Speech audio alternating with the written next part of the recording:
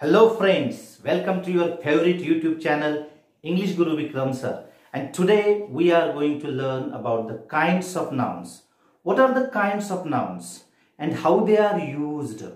How to differentiate between them? It is a very important thing in our English grammar syllabus. So let's see what are the kinds of nouns.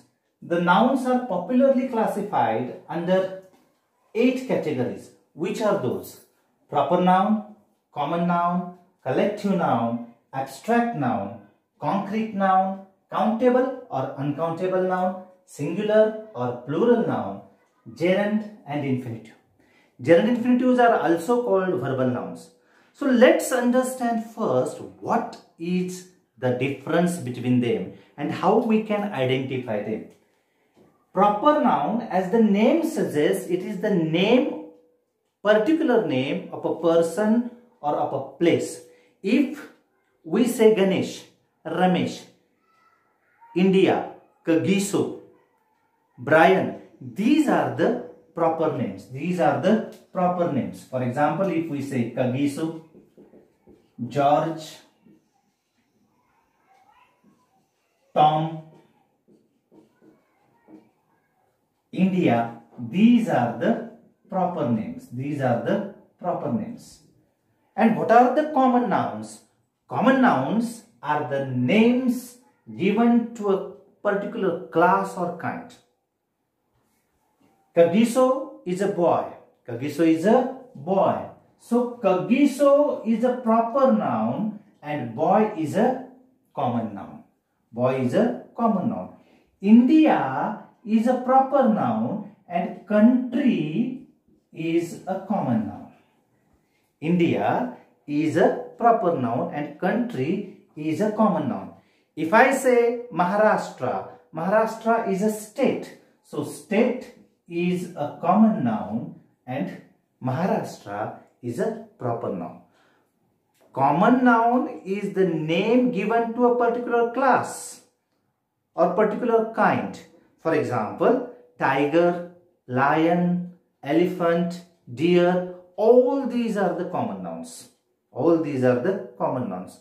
Mountain, hill, all these are the common nouns. Furniture, common noun. If we say Himalaya, that is proper noun because that is the particular name, specific name given to the certain thing or place, Himalaya. But if we say mountain, it is a common noun because there are hundreds of mountains in the world and mountain refers to the class.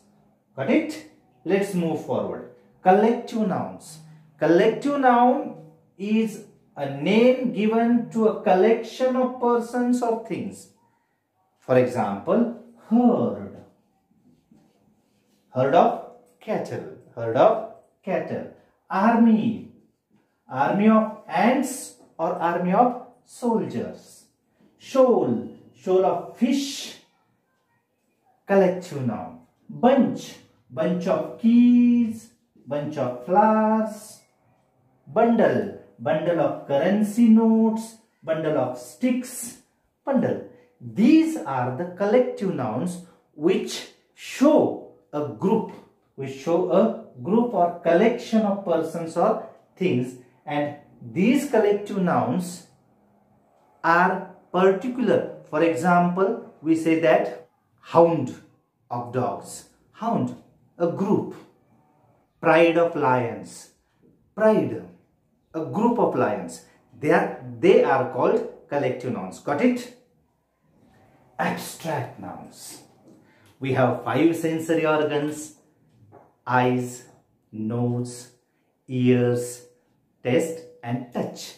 If, feeling, sense, if we cannot feel the noun by using any of these five senses, then that is abstract noun, which doesn't have shape, size or color or taste we cannot hear them, we cannot feel them. So these are abstract nouns and abstract nouns are the names of quality, action or state.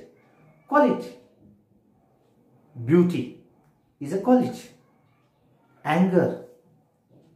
Quality or state. These qualities are the abstract nouns for example beauty, kindness,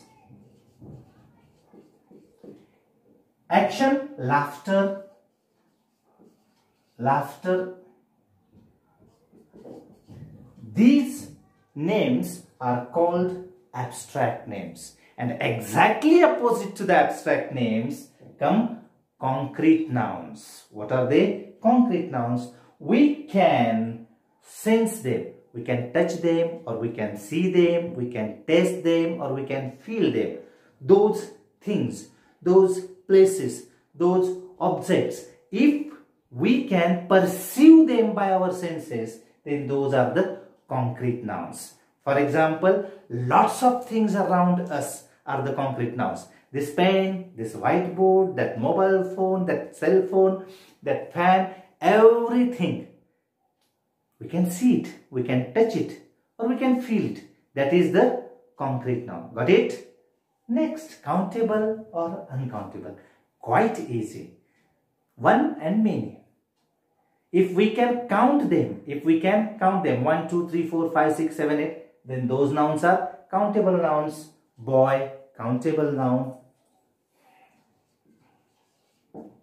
Pen, countable noun. Page, countable noun. We can count them. But if we cannot count them 1, 2, 3, for example, water,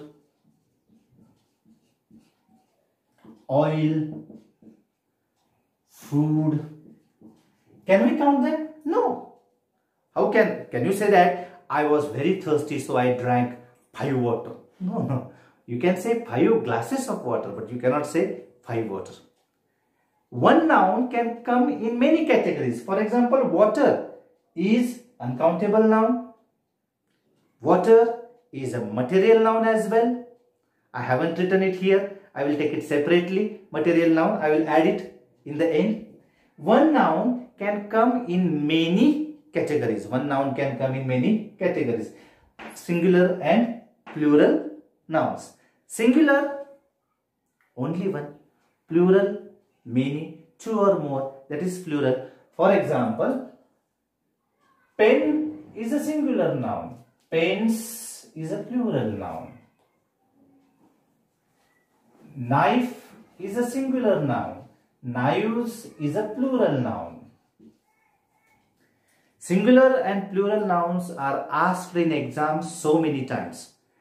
Which are the irregular plurals? So, I have given a list of singular and plural nouns in the description. Go check it, learn it, keep it in mind, bury it in mind. Last but not the least, gerund and infinitive. Gerund and infinitive. These are formed from verb. And so, they are also called verbal nouns. They are, they are also called verbal nouns. Nouns which are formed from the verb. For example, singing, dancing, to sing, to dance. There are so many verbal nouns because if there is verb, there will be the verbal noun, no doubt. For example, I like singing. I love teaching. In these sentences, which is the main verb like and which are the nouns singing and teaching. If I say I love to teach, to teach is a noun and love is a verb. Love is a verb.